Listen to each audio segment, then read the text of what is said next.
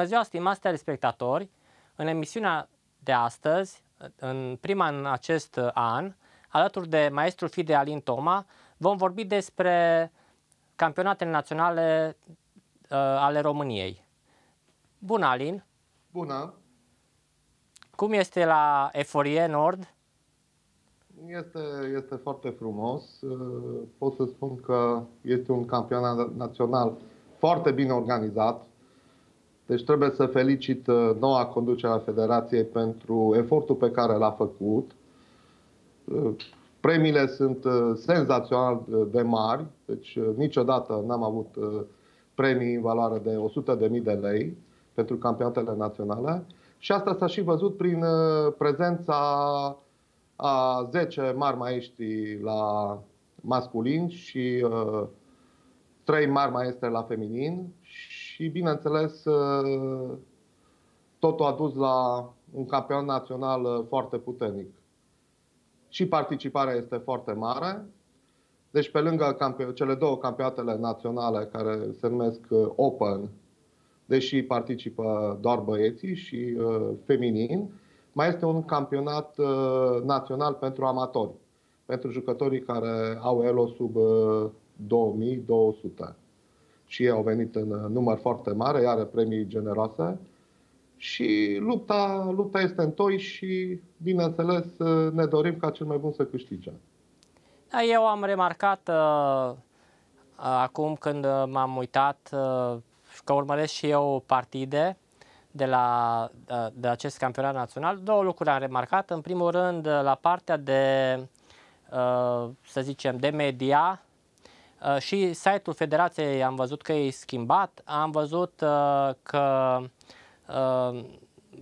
este live pe YouTube, este pe Facebook, deci s-au atins canale care sunt vizibile pentru marea masă, plus uh, și pe CS24 am văzut, acolo am urmărit eu partidele, am văzut, uh, l-am văzut pe Mihnea care comentează uh, și interesant. Iar am uitat cu... să spun că pentru prima dată, n-a mai fost așa ceva, avem un studio de unde se comentează partidele live sunt transmisii live. La feminin toate partidele sunt uh, transmise. La masculin din cele 33 uh, de partide, 30 sunt transmise live. Îl avem pe uh, Costachi Mignea și Sabina Foișor, fata regretatei mare maestre Cristina Foișor, care a venit chiar din America ca să ne ajute să facem această transmisie. Și are un real uh, succes, câțiva mii de uh, persoane care ne urmăresc și de ce nu, poate încet, încet o să ajungem uh, partidele de șac să fie să aibă mai mulți spectatori, cel puțin virtuali, decât avem la fotbal. Cel puțin asta ne dorim. Da, Acum da, să da. vedem dacă o să reușim. A, o să reușim încetul cu încetul, ne mișcăm noi mai încet, așa că suntem noi dar uh, ne mișcăm. Al doilea lucru care am vrut să spun, apropo de campionatul de amatori, eu îl apreciez foarte mult pentru că știu de la alte sporturi uh, că tinerii copii trebuie să uh, pot numai așa să zic să progreseze dacă sunt ajutați de familie, de uh, antrenori, etc. Iar uh, dacă părinții practică sportul uh, respectiv, cum a venit șahul, atunci cu atât mai mult uh, sunt motive să, uh, să meargă la cum este acum campionat național.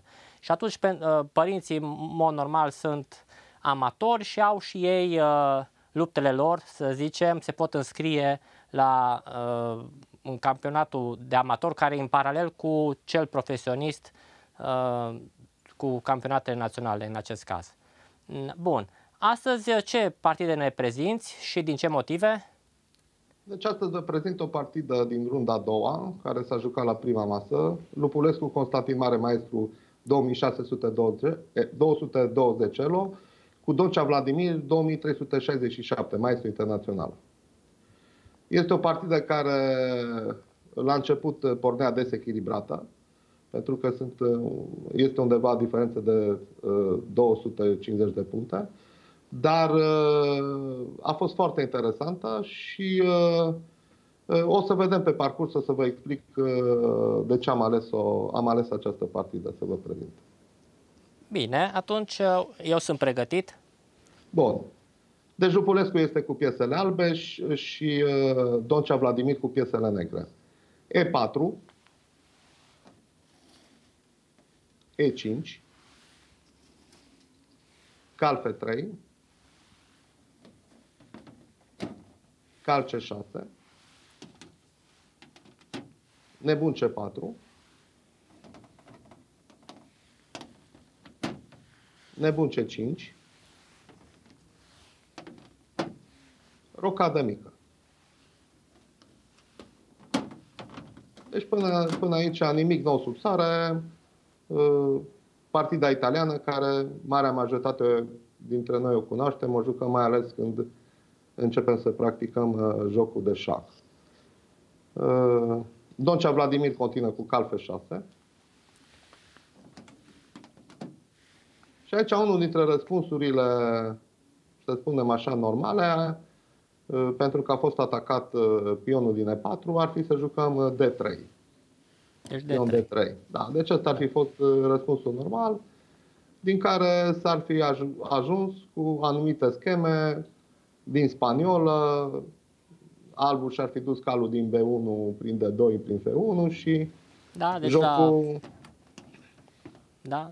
Da.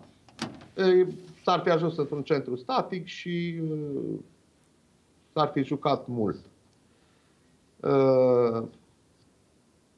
Uh, Lupulescu Constantin a vrut să surprindă adversarul și a jucat turne 1.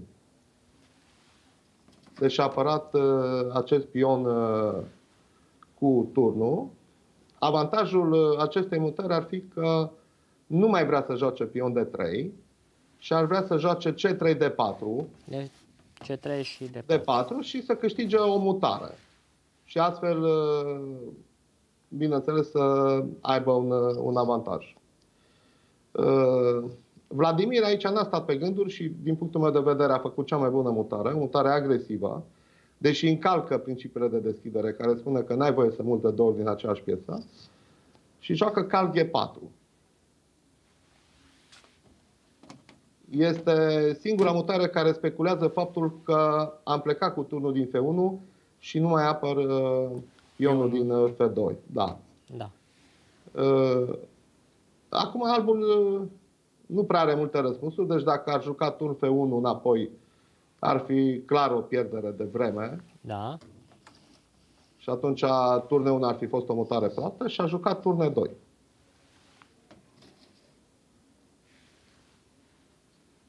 Negru răspunde iară cu o mutare care încalcă principiile de deschidere cal de 4, dar este o mutare de atac. O să vă explic imediat de ce a făcut-o. Practic, uh, atacă turnul din E2 și obligă pe negru să joace cal bate la D4. Nu are alt răspuns. Nu are alt Dar răspuns. Să nu, nu are alt răspuns. strice nici uh, structura de pion, în fine. Da. Negru răspunde cu nebun de 4. Uh, de ce a jucat negru? Deci vedeți că negru a încălcat uh, aceste principii de deschidere, dar totuși toate au fost cu un anumit scop. Uh, dispărând calul din F3, da. permite negrului la un moment dat să joace dama H4 cu atac asupra pionului din F2 și pionului din H2. Da. Practic observăm că albul nu mai este bine apărat pe flancul regelui. Deci nu, regele nu mai este așa de bine apărat. Deci nu are nicio figură care să apere regele. Exact, exact. Acum Lupulescu Constantin a jucat destul de bine H3. Alungând acest cal și punând întrebarea ce faci, bați în, în F2. Acum Deși noi la început când învățăm uh, jocul de șac știm că calul valorează 3, nebunul 3, turnul 5, pionul 1, să știți că uh, capturarea uh, pionului din F2 și pierderea a două piese, calul și nebun, pe turn și pion, nu este, nu este o egalitate. Deci din calculul matematic este 6-6, dar un cal și un nebun, deși valorează fiecare câte 3, Ei împreună valorează cam 7. Deci aici un pic o matematică mai ciudată, să spunem așa, o matematică șahistă, da, pentru deci- că împreună, împreună ei pot ataca de două ori un pion, pe când un turn, deși este o piesă mai valoroasă, apără doar o singură dată. Da, deci pentru dinamica jocului, mai ales că uh, jocul de mijloc nu s-a încheiat, uh, da, contează cele două figuri uh, și ca număr față de turn. Aici am, uh, negru face o mutare frumoasă, dar neinspirată, H5, deci nu pleacă din cal, Uh, trebuie să recunosc că uh, eu i-am și spus că joci un șac romantic, pentru că așa ceva se juca acum 150 de ani, deci uh, nu plecai cu calul, ți-l apărai și îl sacrificai cu plăcere. Bineînțeles că se observă faptul că capturarea calului în G4 ar fi greșit, deoarece... Se deschide coloana, nu? Se deschide coloana H și după ce joacă dama H4, nu prea mai văd cum pare matul de pe H1. Deci, practic, acel cal uh, nu se poate lua. Da. Uh, de asta am, uh, am uh, găsit interesant să vă prezint această partidă, pentru că este foarte interesant cum Lupulescu Constantin uh, gestionează aceste probleme. Nici uh, sunt uh, super convins că nici n-a luat în calcul să ia acest cal. Deci complicațiile ar fi în avantajul negrului. Și uh, el trebuie să încerce să profite de faptul că negru a încălcat aceste principii și a rămas în urmă cu dezvoltarea. Deci intrarea în, uh, în așa zise capcane sau luare de piese nu îl aduce la nimic bun și uh, regula uh, faptului că ai mutat de mai multe piese și ai rămas în urmă cu dezvoltarea nu mai contează în momentul când adversarul reușește să te dea mat. Și aici joacă C3, o mutare bună. Atacă nebunul. Acum, părerea mea că, practic, poate negru ar fi trebuit să bată în F2 pentru că nu are... O să vedem ce se întâmplă. N-a bătut, a jucat nebun B6 și albul a jucat pion de 4. Cu această mutare, albul cucerește centru și face un lucru foarte util. Nebunul din B6 este scos din joc. Deci, practic, el nu mai poate ataca regele alb. Deci rămâne izolat pe flancul damei.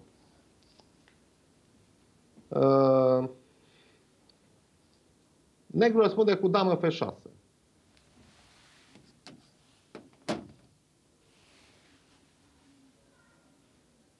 Încă o dată, uh, sunt convins că nu s-a gândit să bată calul din G4. Orice bătaie a calului din G4 ar duce la complicații care ar fi în avantajul negrului și lucrul cel mai bun e să albului să scoată figurile care nu sunt scoase.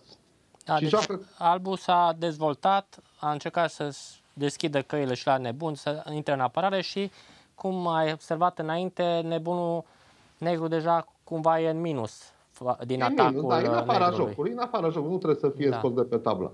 Și albul joacă cal de 2.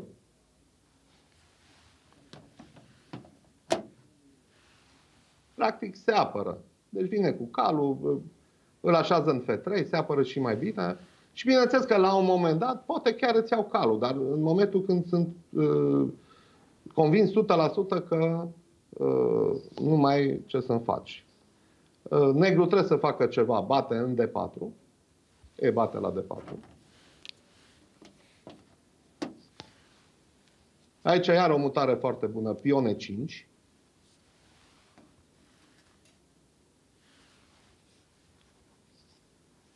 Acum dama albă trebuie să plece de pe câmpul F6 și nu mai pune presiune pe F2. Dama G6. Da, cumva deja începe să se vadă regele negru expus, nu, pionul nu poate fi bătut ușor, cel din E5, deci da, s-a schimbat parcă tot atacul. Albul joacă ce bate la D4.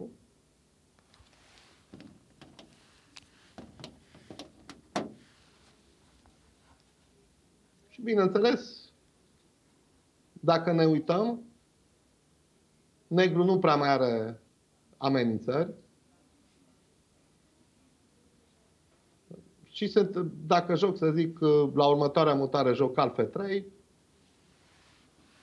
uh, negru rămâne cu piesele nedezvoltate și, practic, avantajul pozițional uh, este albului. Din această cauză, negru încearcă din nou să complice jocul, cum a încercat uh, toată partida și a jucat nebun bate la D4.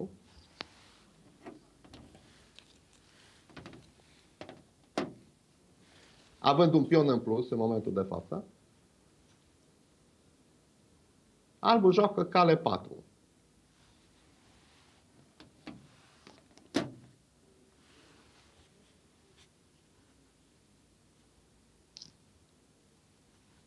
Acum negru bate și al doilea pion. Cal bate la E5, dar intrând pe, pe anumite legături. Acum negru, deși are doi pioni în plus, se vede clar că a rămas foarte mult uh, cu dezvoltarea în urmă. Albul joacă cal G5.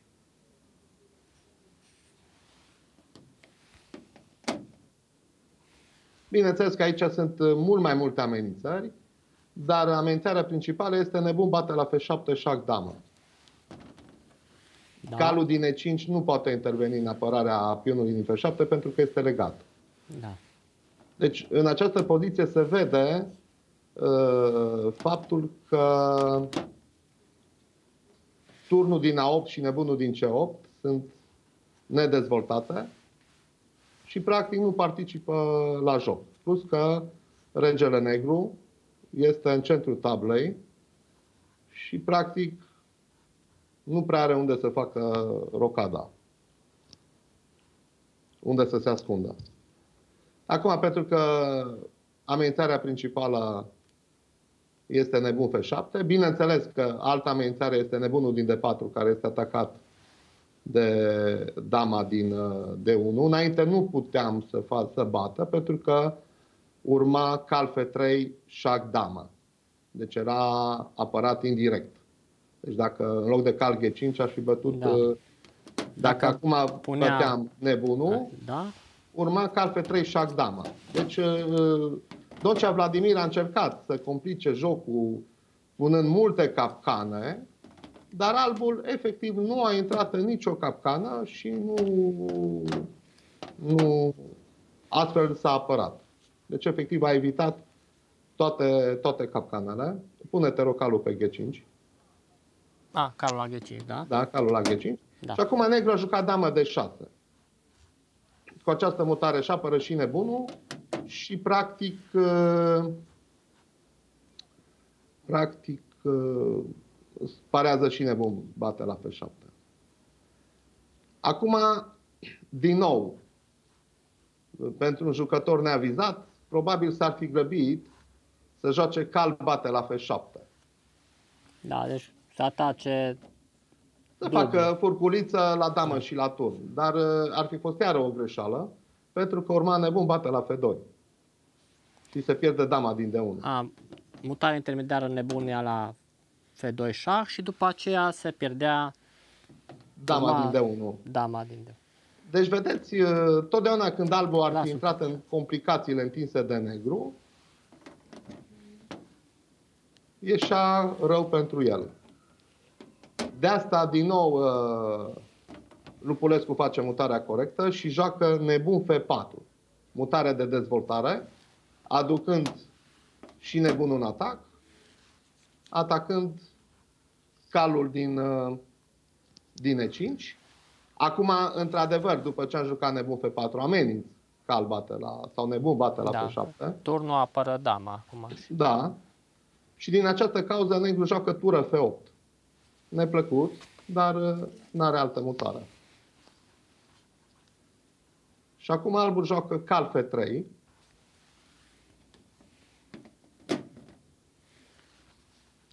atacând și nebunul din D4 și calul din, uh, și calul din E5. Practic, uh, negru pierde o figură aici și din această cauză a și cedat.